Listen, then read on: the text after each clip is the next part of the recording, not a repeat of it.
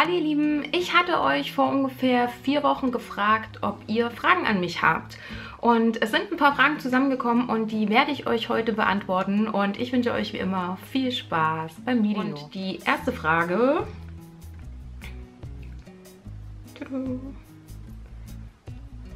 Und die erste Frage ist von Nati K. oder Nettie, ich weiß jetzt nicht, wie man das ausspricht.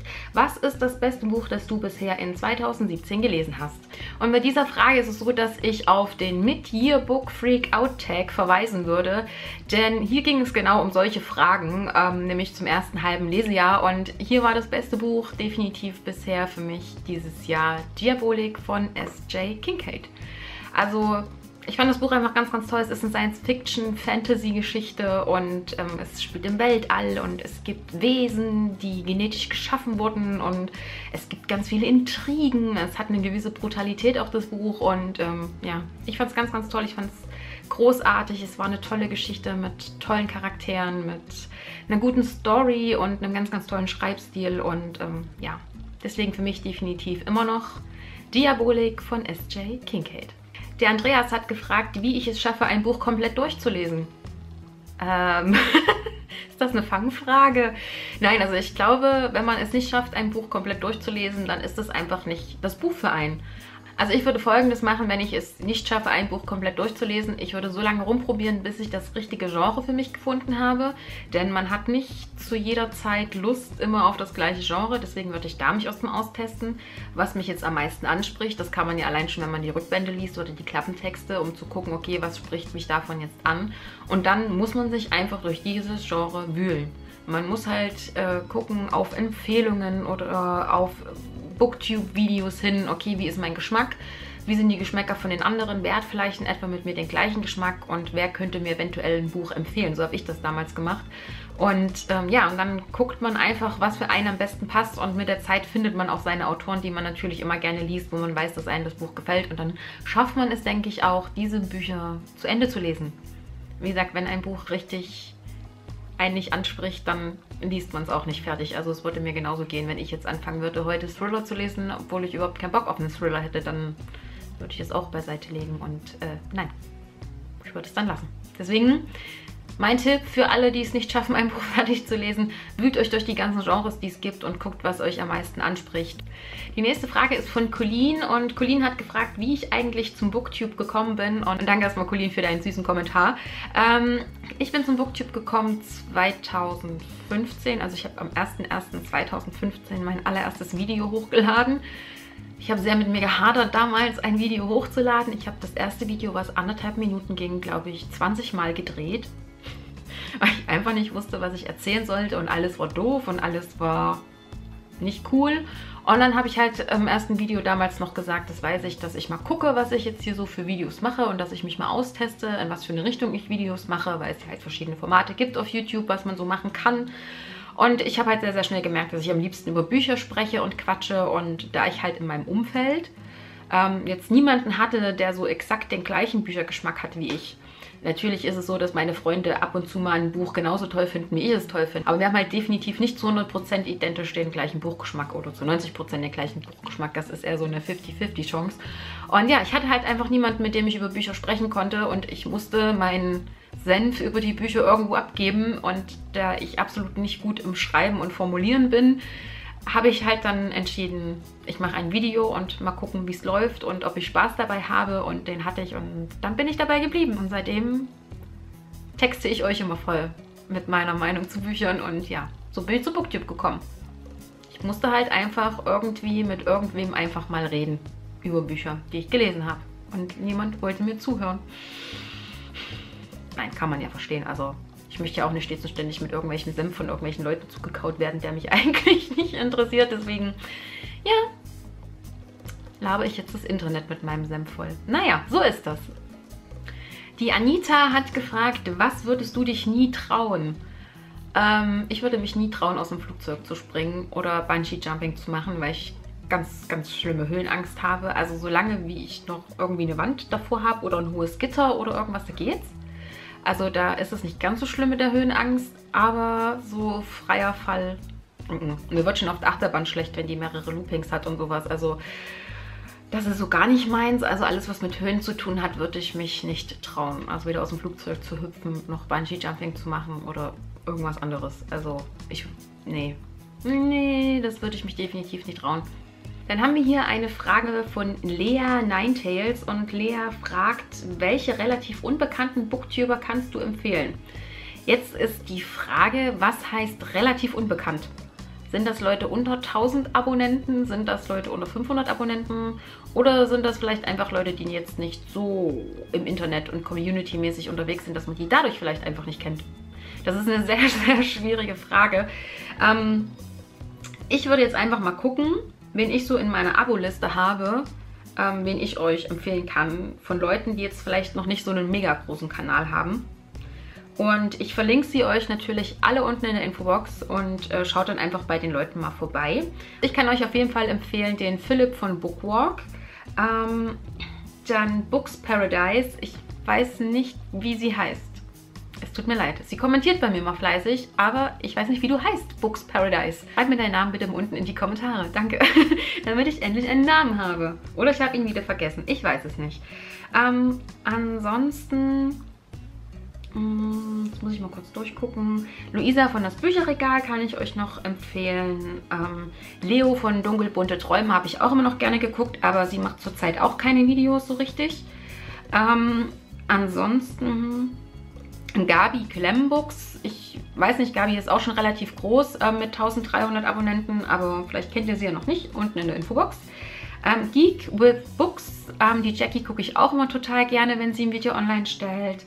Ähm, Hi Happen Uhaha Books ähm, gucke ich auch immer sehr gerne, verlinke ich euch auch unten. Also wen ich auch sehr, sehr gerne gucke, ist Lucia von Magical World of Books. Ähm, Mels Bücherwelt gucke ich auch ganz gerne, aber ich weiß gar nicht, ob Mel aktuell also seit zwei Wochen hat sie jetzt kein Video mehr gemacht. Also schaut bei ihr auf jeden Fall auch nochmal vorbei. Ähm, ansonsten... Wen haben wir denn noch? Nicola gucke ich auch sehr, sehr gerne. Ich finde äh, Nicola sehr, sehr sympathisch. Sie hieß früher Black Ride Red. Ähm, ansonsten Penguin TV solltet ihr auch mal vorbeischauen. Und lasst mich nochmal gucken. Steffis kleiner Bücherexpress ist auch sehr, sehr sympathisch, die Steffi. Kann ich euch auch nur empfehlen, da mal vorbeizuschauen. Und ja, ansonsten Sina von, von Wörtern gefesselt, wer sie noch nicht kennt, sollte da auch mal vorbeigucken. Also das waren jetzt die Leute, die mir so auf Anhieb ins Auge gesprungen sind, wo ich weiß, dass die so zwischen 500 und 1000 Abonnenten irgendwo haben. Vielleicht auch ein bisschen mehr, aber ja, es ist schwierig, relativ unbekannt, nicht so große Booktuber da zu benennen. Also wie gesagt, schaut auf jeden Fall unten in die Infobox. Ich verlinke sie euch alle dort nochmal. Bücherterror hat gefragt, wann treffen wir uns endlich mal? Ja, ich weiß, das mit mir und dem Treffen, das ist so eine Sache. Ähm, ich wurde ja schon von Leuten, ich wurde ja öfters schon von Leuten angeschrieben mit der Bitte, können wir uns mal treffen? Und äh, ja, ich bin da prinzipiell immer offen für, aber bei mir ist dieses Jahr so ein Durcheinander und drunter und drüber überall, dass ich es irgendwie nicht auf die Reihe kriege, mir mal irgendwie Zeit frei zu schaufeln, mich mal irgendwo hinzubewegen. Und jetzt durch den Jobwechsel zum 1. Juni war dann ja bei mir sowieso die totale Katastrophe angesagt und im Moment bin ich einfach nur froh, wenn ich am Wochenende zu Hause bin und meinen Haushalt schaffe, dann habe ich ja auch noch einen Freund und einen Hund, um den ich mich kümmern muss. Und ein Tag am Wochenende geht meistens noch für Videos drehen, schneiden, hochladen drauf, damit ich das nicht in der Woche nach Feierabend noch machen muss. Und also ist, im Moment ist es bei mir echt eine Katastrophe. Also ich kann nur sagen, gebt nicht auf, schreibt mir ruhig einfach immer mal wieder eine E-Mail oder über Instagram oder so. Und äh, wenn ihr mal in Erfurt seid oder so und ihr habt Bock auf ein Treffen, dann schreibt mir einfach und ich verspreche in Zukunft Besserungen und guck mal, dass wir uns da vielleicht mal irgendwie treffen können auf ein Stündchen, auf einen Kaffee oder so, dass ich das wenigstens irgendwie mal auf die Reihe kriege, weil mich nervt das selber, dass ich nichts geregelt kriege im Moment. Furchtbar. Furchtbar, furchtbar, furchtbar ist. Als nächstes haben wir die Fragen von Issy Leia und sie hat mich das gefragt, ob ich die Reihe der Auserwählten der Jahreszeiten kenne, also Morgentau, Abendsonne, Nachtblüte und Tagwind. Und äh, ich kenne diese Reihe, aber ich habe sie noch nicht gelesen. Also die Niki hat sie mir auch definitiv ans Herz gelegt zu lesen und ich werde sie hoffentlich auch irgendwann nochmal lesen, aber ich weiß nicht wann. Also ich bin ja momentan noch dran am Subabbau. Ich erzähle das ganze Jahr schon immer Subabbau, aber ich krieg's nicht hin. Also ich versuche da auf jeden Fall den Sub noch wegzukriegen und dann irgendwann kaufe ich mir neue Bücher und dann werden die sicherlich da dabei sein und dann möchte ich die auf jeden Fall noch mitlesen. Also die stehen definitiv auf meinem Wunschzettel die Bücher und ich möchte sie definitiv irgendwann nochmal lesen. Habe ich aber noch nicht. So, und Easy hat mich auch noch gefragt, wie alt bist du? So was fragt man doch nicht. Ähm, ich bin 31 Jahre alt aktuell und momentan komme ich noch gut mit meinem Alter zurecht. Ich habe noch keine Probleme mit meinem Alter. Das wird sich irgendwann ändern, wenn die Falten noch mehr werden. Aber im Moment ist alles noch gut und äh, ja, ich bin 31 Jahre alt. Ich fühle mich nicht wie 31. Ich benehme mich, glaube ich, auch nicht wie 31, aber egal. Was soll's. Easy hatte dann noch gefragt, wie kamst du auf die Idee für deinen Kanal? Ich glaube, das hatte ich vorhin mit der Frage von Colleen schon beantwortet. Aber ähm, so richtig auf Booktube, sag ich mal, äh, kam ich über Mona Kasten. Also damals ja noch Peach Galore und ähm, ich habe ihre Videos total gerne geguckt damals. Sie war mir super sympathisch. Ich fand, sie hat das immer ganz, ganz toll gemacht und auf eine ganz, ganz sympathische Art. Und ich bin auch ein bisschen traurig, dass sie keine Videos mehr macht. Aber ich kann das schon verstehen an ihrer Stelle auch. Und ähm, ja, ich bin quasi über Mona Kasten also Peach Galore zu Booktube gekommen. Ich habe dann natürlich auch angefangen, andere Booktuber zu gucken. Man kriegt ja dann auch immer Vorschläge angezeigt und so nach und nach guckt man dann halt mal hier und guckt mal dort und sieht es dann halt natürlich auch bei anderen und irgendwann, wie gesagt, kommt man selber auf die blödsinnige Idee, mal so ein Video hochzuladen. und die letzte Frage von Easy ist, was ist dein Favorit bei Büchergenres? Ähm, ich lese am liebsten Urban Fantasy, wie ihr auch hier im Hintergrund sehen könnt. Also Urban Fantasy lese ich am allerliebsten. Ähm, dann lese ich aber auch gerne immer mal High Fantasy wieder zwischendurch. Und natürlich Liebesromane lese ich total gerne, so mit so ein bisschen Erotik. Es muss jetzt nicht so ein übelster Erotikroman sein, das brauche ich nicht. Aber so Liebesromane mit so einem Hauch Erotik lese ich total gerne. Und halt New Adult Bücher. New Adult ist jetzt nicht direkt ein Genre, aber ich lese halt gerne New Adult Bücher, also so College-Geschichten und sowas. Ähm, ja, mag ich auch total gerne lesen.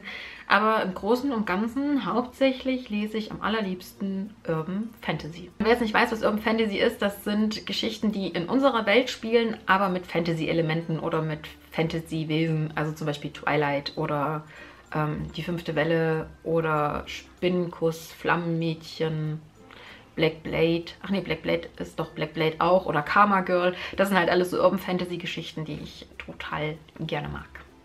Jelisi fragt, wie bist du zu deinem Hund gekommen und warum hast du dir ein Bild von deinem Hund tätowieren lassen? Ja, wie kommt man zu einem Hund? Man kauft ihn sich. Nein, also ich habe 2012 mit meinem Freund angefangen, darüber zu sprechen und dann haben wir uns mit dem Thema auseinandergesetzt und dann waren wir beide da dafür, uns einen Hund anzuschaffen und dann haben wir uns 2012 unseren kleinen Stinker hier angeschafft. Oh, mein Fazit. Ja, du bist gemeint. Und ähm, ja, so bin ich zum Hund gekommen. Also ich wollte ihn haben und ich habe von immer, und ich habe schon immer gesagt, seitdem ich ein kleines Kind bin, ähm, wenn ich einen Hund habe, dann wird es ein Jack Russell und es wird ein Rüde und er wird Milo heißen. Und alle, die so in meinem Alter sind, äh, dürften den Film Die Maske auf jeden Fall kennen mit Jim Carrey. Und ähm, der Protagonist in dem Film hatte einen Hund, einen kleinen Jack Russell und der hieß Milo. Und ich fand diesen Hund immer so toll, dass ich selber einen haben wollte und deswegen habe ich jetzt einen Milo zu Hause. So kam der Hund zu seinem Namen. Und ähm, ja, warum ich ihn mir habe tätowieren lassen, also ich weiß jetzt nicht, die meisten, ihr dürftet eigentlich alle die Tätowierungen hier so kennen. Ja, warum habe ich ihn mir tätowieren lassen? Ganz einfach, weil mein Hund mein Ein und Alles ist. Das ist mein Baby, mein, mein Schatzi. Ich trage die Verantwortung für dieses Wesen. Und ähm, irgendwer hat mal diesen Spruch gesagt, dein Hund ist ein Teil deines Lebens, aber für den Hund bist du das ganze Leben. Und nach diesem Spruch versuche ich auch zu gehen und versuche meinem Hund ein schönes Leben zu machen, auch wenn ich oft schimpfe und nöle mit ihm und ihn auch immer wieder an der Leine zerren muss, wenn er immer alles anlecken will, was er nicht darf und soll. Aber ähm, ich liebe meinen Hund halt über alles und ähm, ich versuche ihm ein schönes Leben zu ermöglichen und ähm, ja, weil mein Hund mein Baby ist und ich ihn über alles liebe und immer bei mir haben möchte, auch wenn er irgendwann nicht mehr bei mir ist, da habe ich ihn mir tätowieren lassen und das halt eine Stelle, wo ich ihn halt auch selber immer sehen kann, weil die meisten Tätowierungen, die man sich machen lässt, sieht man ja selber immer nicht so, wenn man sich das so hier auf dem Oberarm oder so macht. Deswegen habe ich es halt auf dem Unterarm machen lassen, damit ich es halt selber auch immer sehen kann. Und wenn mein Baby irgendwann nicht mehr bei mir ist, habe ich ihn halt trotzdem immer bei mir. Wisst ihr, was ich meine? Ich glaube, ihr wisst, was ich meine. Und Heavenly fragt, ähm, Gott, was fragt sie denn eigentlich? Ähm, was hältst du zum Beispiel von E-Book-Readern? Ich finde es ja schön, wenn man ein richtiges Buch in der Hand hat, aber die E-Book-Reader bzw. E-Books sind echt gut für unterwegs. Und dann hat sie noch gefragt, machst du bei der Online mit? Ich weiß gar nicht, was Online ist. Also ich mache da nicht mit, ich kenne das nicht. Also wahrscheinlich sind das so Amazon Unlimited, ist das sowas? Also wo man sich so E-Books ausleihen kann und dann wieder zurückgibt, wenn man sie gelesen hat, für 10 Euro im Monat oder so. Mache ich nicht. Also ich bin ein Buchleser, ein richtiger Buchbuchleser und ich lese sehr, sehr selten E-Books. Also ich lese E-Books eigentlich nur, wenn ich sie als Rezi-Exemplare kriege. Ähm, dann lese ich E-Books, ähm, aber ansonsten lese ich eigentlich immer richtige Bücher, weil ich habe halt lieber ein Buch in der Hand als so ein E-Book und ja, deswegen lese ich E-Books eigentlich nur, wenn ich sie als Rezensionsexemplare bekomme. Oder wenn man zum Beispiel wie Grisha für das Buch, wenn man es kaufen wollen würde, keine Ahnung, wie viel 100 Euro zahlen müsste. Ja, also Grisha habe ich den zweiten Teil als E-Book, weil das richtige Buch einfach viel zu teuer ist. Aber ansonsten bevorzuge ich immer richtige Bücher in meiner Hand als halt zu E-Books, weil mag das halt nicht. Also ich lese halt auch, wenn ich Bücher lese, immer auf dem Handy, über, über das Kindle oder halt über das Tablet. Einen richtigen E-Reader habe ich nicht, ich mag die nicht, ich komme damit nicht so klar. Also jeder, der erst einen E-Reader hat, der sagt, oh, du wirst es nicht mehr missen wollen, aber nein, ich will keinen E-Reader ich möchte ein richtiges Buch in der Hand haben, auch wenn dafür Bäume sterben müssen. Es tut mir leid. Aber ich lese halt lieber richtige Bücher. Heavenly hat dann noch geschrieben, dass man, ähm, wenn man sich das Buch online ausleiht, in der Digitalversion ja Geld sparen kann. Ja, das stimmt. Aber ich lese trotzdem lieber richtige Bücher. Dann hat Jurina T. noch gefragt, was ist dein Lieblingsbuch oder deine Lieblingsbuchreihe? Ähm, hab ich nicht. ich habe kein Lieblingsbuch und keine Lieblingsbuchreihe. Also ich habe Buchreihen, wo ich eine spezielle Bindung zu habe, weil ich damit halt was Positives verknüpfe, wie zum Beispiel die Göttlich-Trilogie von Josephine Angelini. Ähm, das war die allererste Buchreihe, die mich so richtig wieder zum Lesen animiert hat. Also das war das allererste Buch, was ich damals wieder in der Hand hatte, was ich mir gekauft habe, wo ich gelesen habe und sofort in die Buchhandlung gegangen bin und mir den zweiten Teil gekauft habe. Und ähm, da habe ich halt zu solchen Reihen eine bestimmte, oder zu solchen Büchern habe ich halt eine bestimmte Bindung und da verknüpfe ich halt, wie gesagt, was Positives mit. Oder die Obsidian-Reihe von Jennifer Armentrout. Das war das allererste Buch Obsidian, was ich von Jennifer Armentrout gelesen habe. Und ich habe dieses Buch in anderthalb Tagen gelesen. Und das war das erste Buch, was ich nach, Jahr, was ich nach Jahren wieder in anderthalb Tagen gelesen habe. Und das sind halt so Bücher, die mich sehr begeistern konnten. Und wie jetzt hier zum Beispiel die Twilight-Reihe, die konnte mich damals auch extrem begeistern, wo diese Bücher rauskamen. Aber ansonsten so richtige Lieblingsbücher oder Lieblingsbuchreihen habe ich nicht. Aber ich kann euch ja mal sagen, was ich zum Beispiel ganz, ganz toll finde. Ich finde ganz, ganz toll die Nachtsonne-Chroniken von Laura Newman. Da überlege ich übrigens immer noch, ob ich mir die Bücher nicht nochmal kaufe mit dem neuen Cover, weil ich einfach das neue Cover so schön finde. Dann Obsidian von Jennifer Armentrout, Dark Elements von Jennifer Armentrout. Dann äh, Der Winter erwacht, wenn der Sommer stirbt. Angel Fall oder die Shatter Me Trilogie von Tahere Murphy ist auch ganz, ganz toll. Ähm, Twilight finde ich als Klassiker, Klassiker, äh, auch immer noch richtig gut. Ansonsten ähm, Jennifer Estep hier, die Spinnenbücher kann ich euch auch empfehlen. Oder hier die ganzen Liebesromane, die hier stehen, die finde ich auch alle ganz, ganz toll. Aber ansonsten die Luna-Chroniken die Luna-Chroniken und Göttlich natürlich noch. Und die Brimston Bleed-Reihe mag ich auch total. Ansonsten natürlich noch die Gestaltenwandler-Reihe von der Lini Singh, die Wait For You-Serie von Jalen, die On Dublin Street-Reihe von Samantha Young und, und, und, und. Also es gibt einfach zu viele tolle Bücher, als dass ich mich da jemals auf eins festlegen könnte. Jorina hat dann noch gefragt, wann hast du angefangen, so viel zu lesen?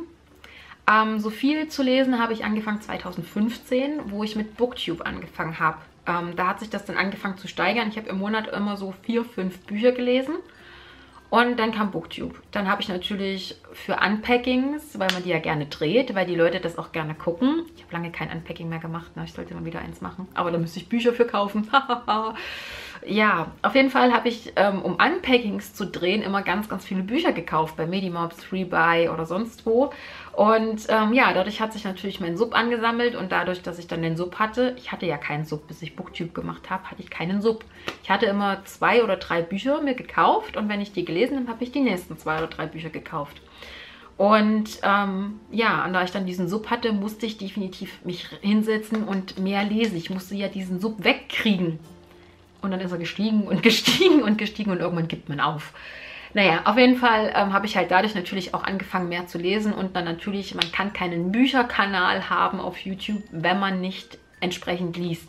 Und man hat dann natürlich selber so einen Druck, den man sich auch setzt, dass man jetzt lesen muss, weil man ja sonst keinen Content hat, den man produzieren kann. Und ähm, dadurch habe ich natürlich auch mehr gelesen, weil ich mir selber auch diesen Druck gemacht habe. Und irgendwann kam das dann von ganz alleine, dass ich angefangen habe, acht, neun oder zehn Bücher halt im Monat zu lesen. Das war für mich dann ganz selbstverständlich irgendwann.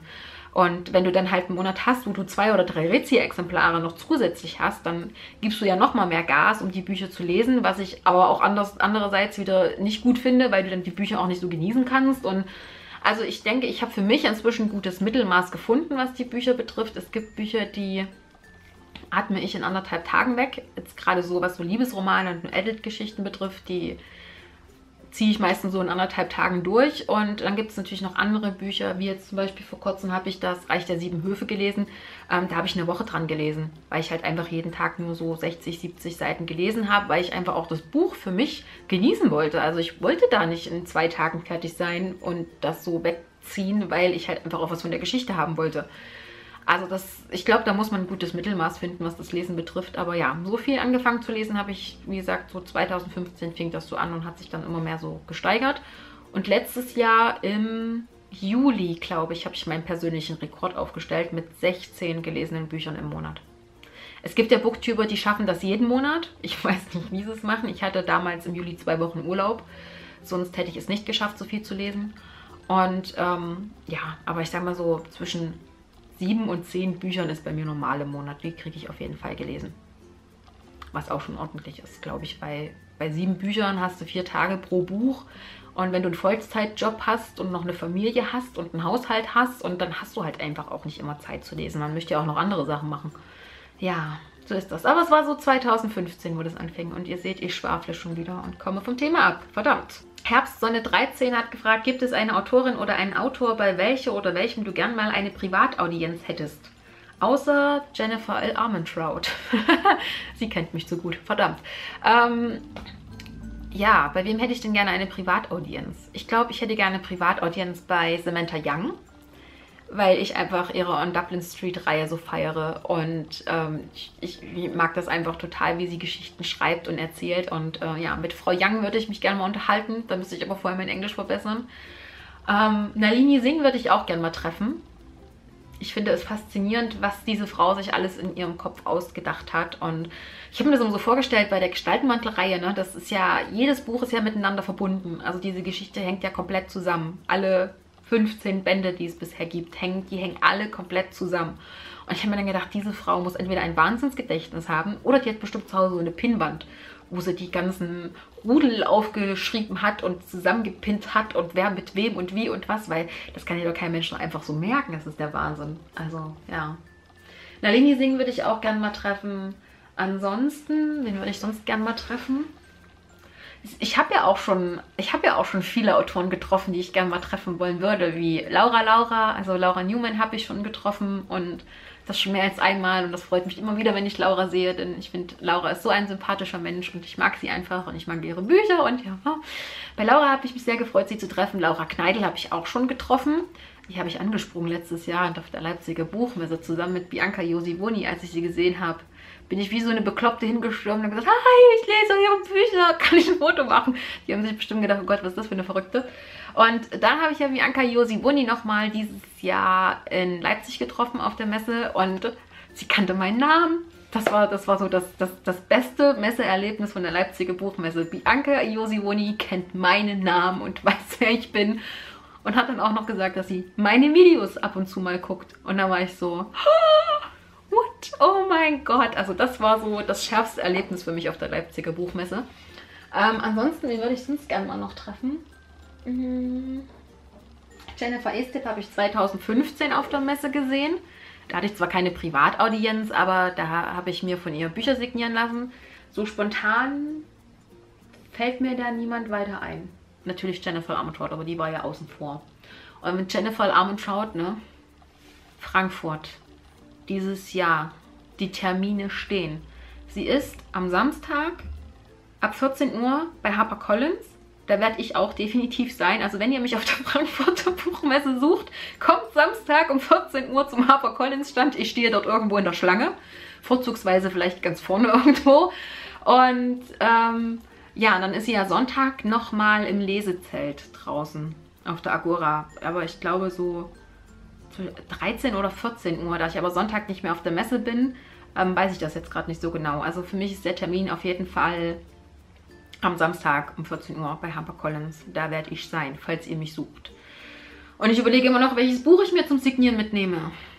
Ich werde mir zwei Bücher mitnehmen. Vielleicht signiert sie ja zwei, ich weiß es nicht. Sie ist ja auch noch dann in Berlin, in Köln und in Hamburg, glaube ich.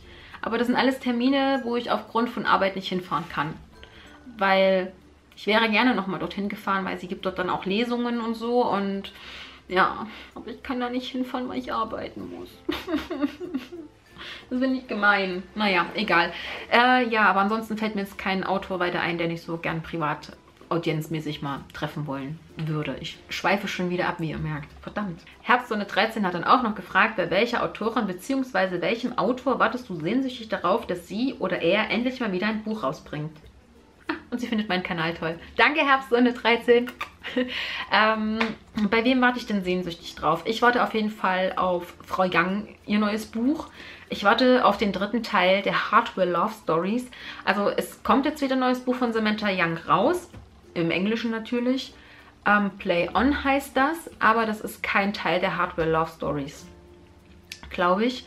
Ähm, also da warte ich auf jeden Fall auf den dritten Teil der Hardware Love Stories und ich bete, dass der dritte Teil der Teil wird, wo es um Emery geht. Denn auf Emerys Geschichte warte ich seit dem ersten Teil.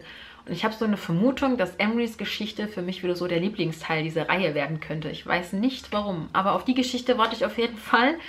Dann äh, freue ich mich ganz, ganz doll auf das neue Buch von Nalini Singh, von der Gestaltmandelreihe, was im September endlich rauskommt. Da hat es dann auch ein gutes Jahr gedauert fast, ehe ein neues Buch rauskam. Ich glaube, das letzte Buch kam letztes Jahr im Dezember. Na gut, da waren es neun Monate, aber es ist halt auch immer so, man wartet und wartet. Ähm, ich würde mich freuen über ein Buch von Marissa Meyer, der Autorin der Luna-Chroniken. Da würde ich mich noch freuen, wenn die immer noch ein Buch rausbringen würde, denn ich fand ja die Luna-Chroniken so mega gut.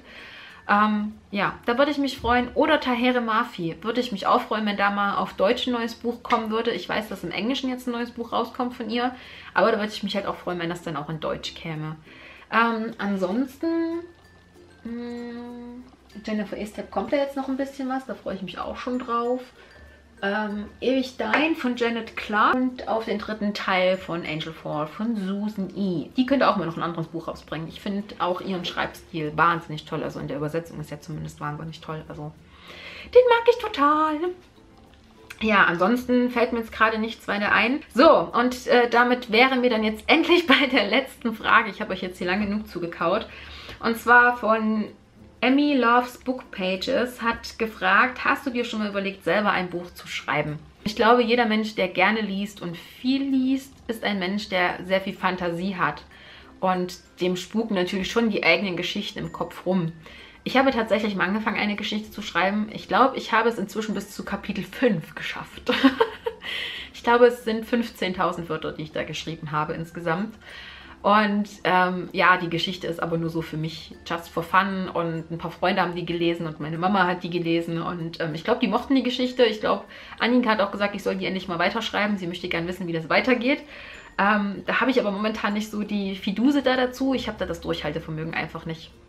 Also, ich weiß nicht. Vielleicht, wenn die Geschichte irgendwann mal fertig ist, dass ich sie auf Wattpad hochlade, dann kann ich euch Bescheid sagen, dann könnt ihr euch das alles mal angucken, was ich da so fabriziert habe so unlekturiert und unkorrigiert. Aber so ähm, richtig ein Buch schreiben, so professionell würde ich nicht. Also ich weiß, dass da einfach zu viel Arbeit drin steckt. Da muss man auch ordentlich erstmal Geld vorfinanzieren und reinstecken, was ich persönlich einfach nicht habe, was ich auch aus persönlichem Antrieb momentan nicht aufbringen wollen würde, weil ich einfach Angst hätte, dass ich in dieser Masse an Autoren, an Self-Publishern, die es ja gibt, untergehen würde. Und ähm, die, diese Fantasievorstellung, man schreibt ein Buch, schickt es an den Verlag und der Verlag bringt das raus. Also ganz ehrlich, die sollte man sich heutzutage schon sowas von abschminken, diese Fantasievorstellung. Also es gibt Leute, die haben sie noch. Ich habe auch mich mit Arbeitskolleginnen mal drüber unterhalten. Ähm, es gibt tatsächlich noch Leute, die haben die Vorstellung, ich schreibe ein Buch, ich schicke das an einen Verlag und der veröffentlicht das dann. ich weiß nicht, wo diese Leute leben, aber ja, die gibt es auf jeden Fall noch. Aber ich, ich glaube, ich hätte einfach zu viel Angst in der Masse, die es an Autoren gibt und die es auch an guten Self-Publishern auf jeden Fall gibt, äh, hätte ich Angst, in dieser Masse unterzugehen. Und deswegen würde ich mir das, glaube ich, nie trauen, so auf professionellem Wege da ein Buch zu veröffentlichen. Und deswegen denke ich mal, werde ich irgendwann meine Geschichte mal fertig schreiben. Aber nur so just for fun. Für mich und meine Freunde. Und die dürfen meine Grütze dann lesen, die ich da zusammenbringe. Und äh, ja, aber mehr. So, und damit wären wir jetzt am Ende von diesem extrem langen Frage-Antwort-Video. Ich wollte es jetzt aber auch nicht aufsplitten und wieder zwei Videos draus machen. Das ist auch wieder doof. Deswegen ist es jetzt ein etwas längeres Video. Ja, so, jetzt höre ich aber auf, euch zuzukauen.